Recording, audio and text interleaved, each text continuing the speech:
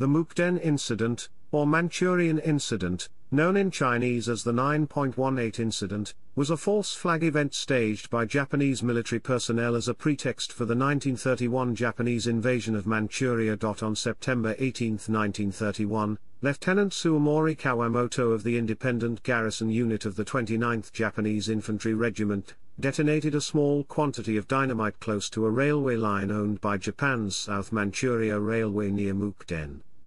The explosion was so weak that it failed to destroy the track, and a train passed over it minutes later.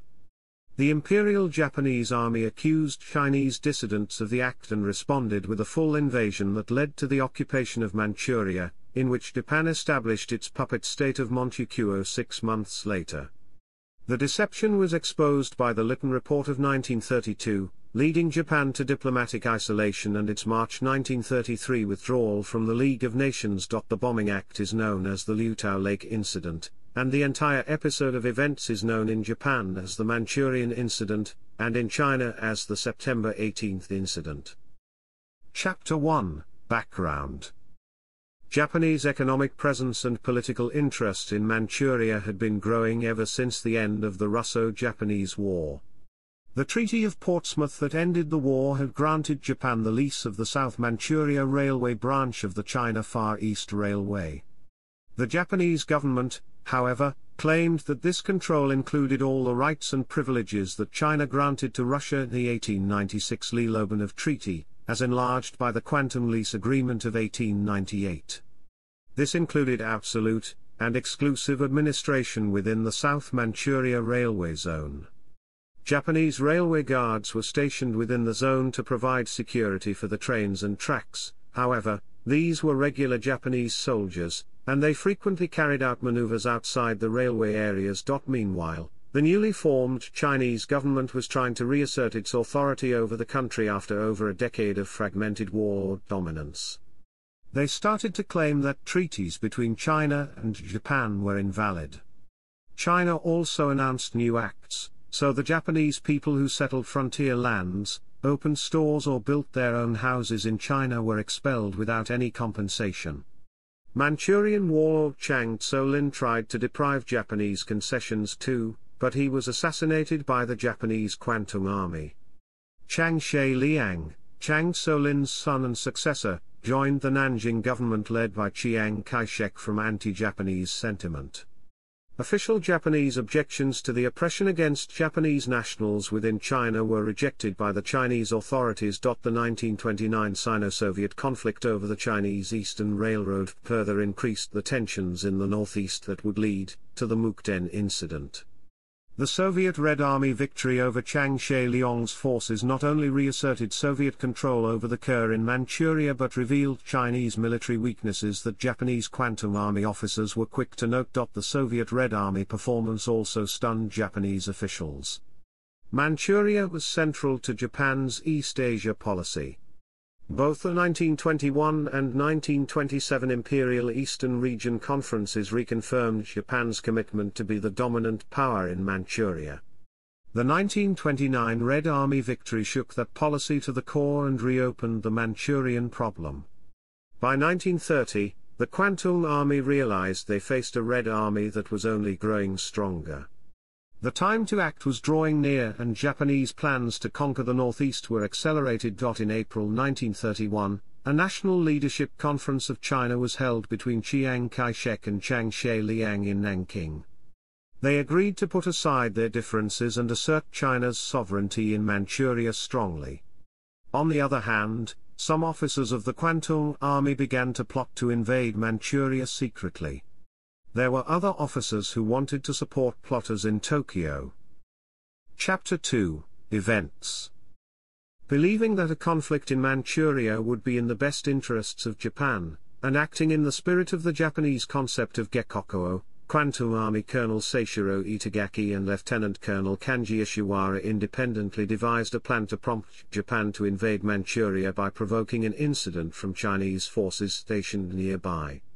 However, after the Japanese Minister of War Jiro Minami dispatched Major General Yoshitsugu Tatekawa to Manchuria for the specific purpose of curbing the insubordination and militarist behavior of the Kwantung Army, Itagaki and Ishiwara knew that they no longer had the luxury of waiting for the Chinese to respond to provocations, but had to stage their own. Itagaki and Ishiwara chose to sabotage the rail section in an area near Liutiao Lake. The area had no official name and was not militarily important, but it was only 800 meters away from the Chinese garrison of Beidaying, where troops under the command of the young Marshal Chang Hsueh Liang was stationed. The Japanese plan was to attract Chinese troops by an explosion and then blame them for having caused the disturbance in order to provide a pretext for a formal Japanese invasion. In addition, they intended to make the sabotage appear more convincing as a calculated Chinese attack on an essential target, thereby making the expected Japanese reaction appear as a legitimate measure to protect a vital railway of industrial and economic importance. The Japanese press labeled the site Liutiao Ditch or Liutiao Bridge, when in reality, the site was a small railway section laid on an area of flat land. The choice to place the explosives at this site was to preclude the extensive rebuilding that would have been necessitated, had the site actually been a railway bridge. Chapter 3 Incident Colonel Seishiro Itagaki, Lieutenant Colonel Kanji Ishiwara, Colonel Kenji Doihara, and Major Takayoshi Tanaka had completed plans for the incident by May 31, 1931. The plan was executed when 1st Lieutenant Suemori Komoto of the Independent Garrison Unit of the 29th Infantry Regiment, which guarded the South Manchuria Railway, placed explosives near the tracks, but far enough away to do no real damage.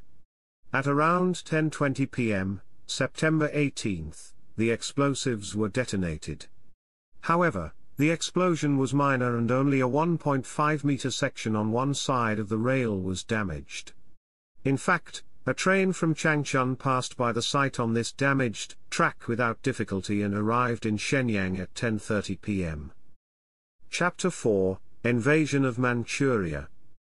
On the morning of September 19, two artillery pieces installed at the Mukden Officers Club opened fire on the Chinese garrison nearby, in response to the alleged Chinese attack on the railway.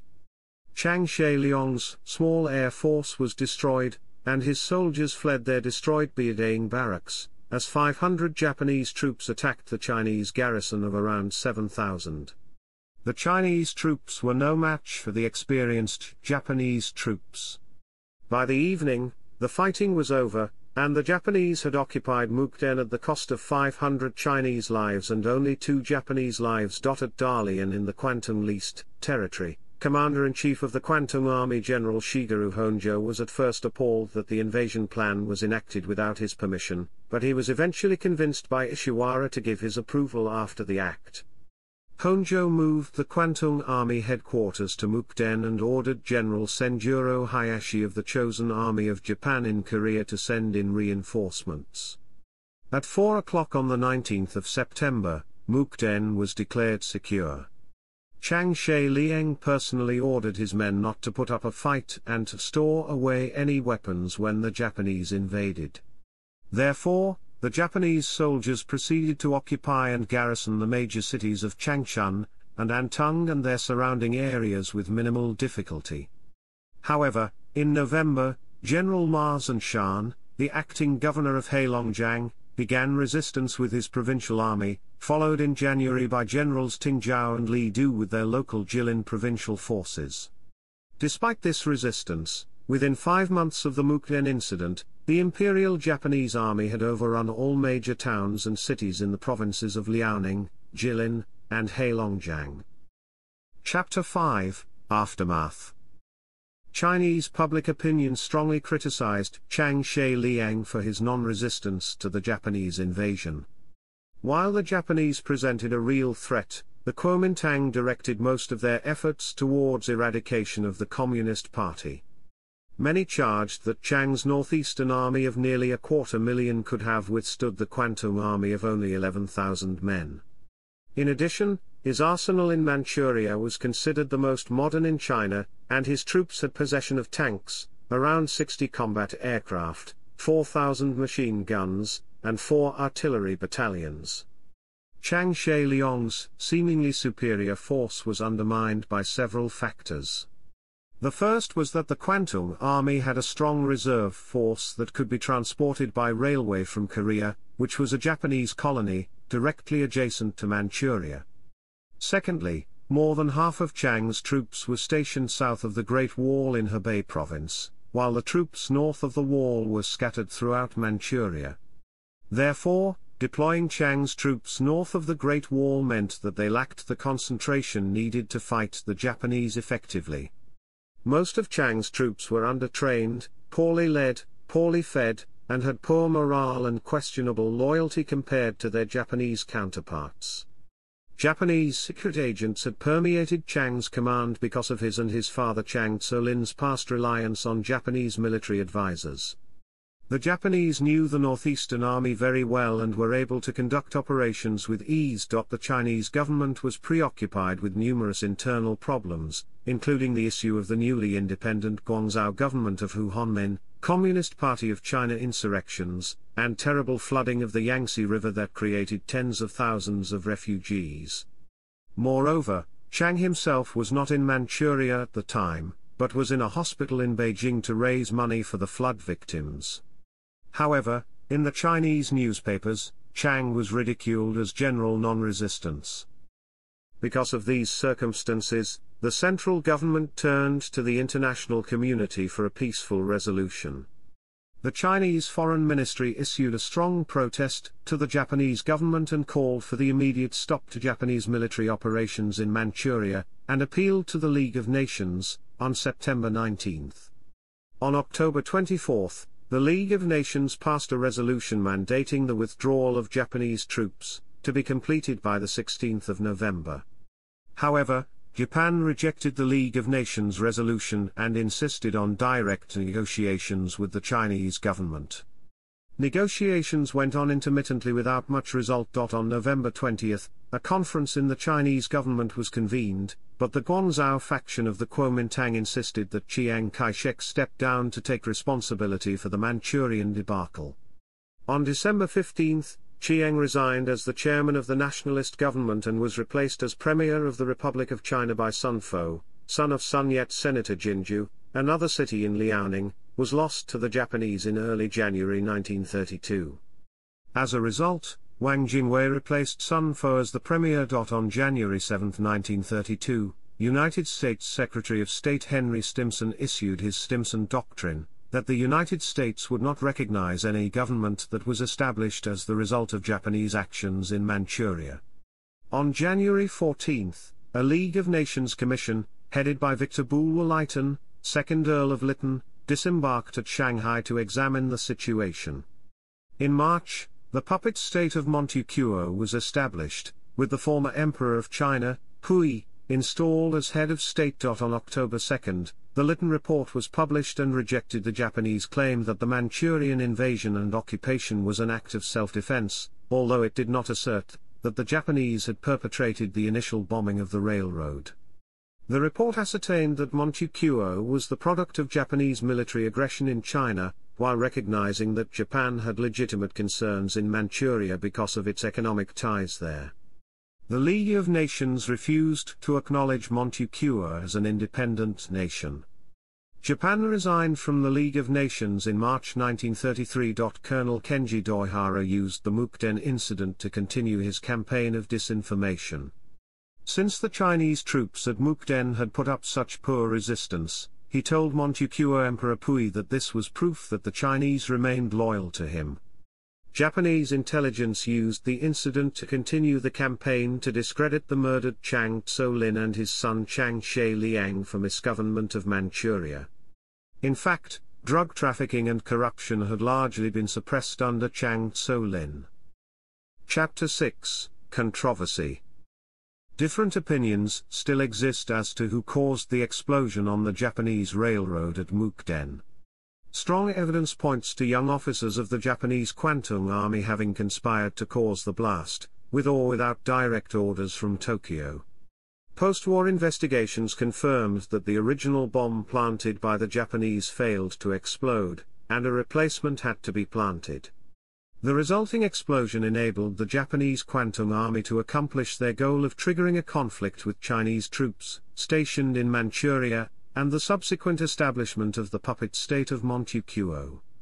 The 9.18 Incident Exhibition Museum at Shenyang, opened by the People's Republic of China on September 18, 1991, takes the position that the explosives were planted by Japan.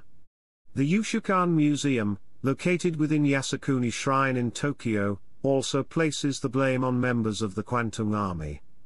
David Bergamini's book Japan's Imperial Conspiracy has a detailed chronology of events in both Manchuria and Tokyo surrounding the Mukden incident. Bergamini concludes that the greatest deception was that the Mukden incident and Japanese invasion were planned by junior or hot-headed officers, without formal approval by the Japanese government. However, historian James Weland has concluded that senior commanders had tacitly allowed field operatives to proceed on their own initiative, then endorsed the result after a positive outcome was assured. In August 2006, the Yomiuri Shimbun, Japan's top-selling newspaper, published the results of a year-long research project into the general question of who was responsible for the Showa War. With respect to the Manchurian incident, the newspaper blamed ambitious Japanese militarists, as well as politicians who were impotent to rein them in or prevent their insubordination. Debate has also focused on how the incident was handled by the League of Nations and the subsequent Lytton report. A. J. P. Taylor wrote that in the face of its first serious challenge, the League buckled and capitulated. The Washington Naval Conference guaranteed a certain degree of Japanese hegemony in East Asia. Any intervention on the part of America would be a breach of the already mentioned agreement. Furthermore, Britain was in crisis, having been recently forced off the gold standard. Although a power in East Asia at the time, Britain was incapable of decisive action. The only response from these powers was moral condemnation. Chapter 7 Remembrance Each year at 10 a.m. on the 18th of September, air raid sirens sound for several minutes in numerous major cities across China. Provinces include Heilongjiang, Jilin, Liaoning, Hainan, and others. Chapter 8 In Popular Culture the Mukden incident is depicted in the adventures of Tintin comic The Blue Lotus, although the book places the bombing near Shanghai. Here it is performed by Japanese agents and the Japanese exaggerate the incident. The Chinese patriotic song Along the Sungari River describes the lives of the people who had lost their homeland in northeast China after the Mukden incident. In Akira Kurosawa's 1946 film No Regrets for Our Youth, the subject of the Mukden incident is debated. See also Junji Kinoshita's play A Japanese called Otto, which opens with the characters discussing the Mukden incident. The 2010 Japanese anime Night Raid 1931 is a 13-episode spy-slash-pulp series, set in 1931 Shanghai and Manchuria. Episode 7, Incident, specifically covers the Mukden incident. The violent manga Gantz has a reference when an elder says that an occurrence reminds him of the Manchurian incident. Dutch death metal band Hail of Bullets covers the event in the song The Mukden Incident on their 2010 album On Divine Winds, a concept album about the Pacific Ocean theater of World War II. The television drama Kazoku Game deals with the history textbook controversy in episode 4, mentioning the Mukden incident. The 1969 novel Black Rain by Masuji Ibuse mentions the incident on numerous occasions. Chapter 9 Sources and Further Reading Ferrell, Robert H. The Mukden Incident, September the 18th to the 19th, 1931 inches. Journal of Modern History. 27, 66 to 72. DOI 10.1086237763. Sta 1877701. S2 SID 144,691,966. Huang, Grace C. Chiang Kai shek's Politics of Shame, Leadership, Legacy, and National Identity in China. Cambridge, Massachusetts, Harvard University Asia Center. ISBN 9780674260139. Jowett, Philip. Rays of the Rising Sun, Volume 1, Japan's Asian Allies 1931-45, China and Manchukuo. Helion and Company Limited ISBN 978 1874 215 Lensen, George Alexander. The Damned Inheritance, The Soviet Union and the Manchurian Crises 1924 1935. The Diplomatic Press. Longha Swain, Sue, Changming Kai. History of the Sino-Japanese War. 33, 140th Lane, Tonghua Street, Taipei, Taiwan, Chengwu Publishing.c.s. One man, location. Lucas, David G. Strategic Disharmony, Japan, Manchuria, and Foreign Policy Online. Matsusaka, Yoshihisa Tak. The Making of Japanese Manchuria, 1904 to 1932. Harvard U Asia Center. ISBN 978-0674-012-066. Ogata, Sadako N. Defiance in Manchuria, The Making of Japanese Foreign Policy, 1931 to 1932. Yoshihashi, Takehiko. Conspiracy at Mukden, The Rise of the Japanese Military Online.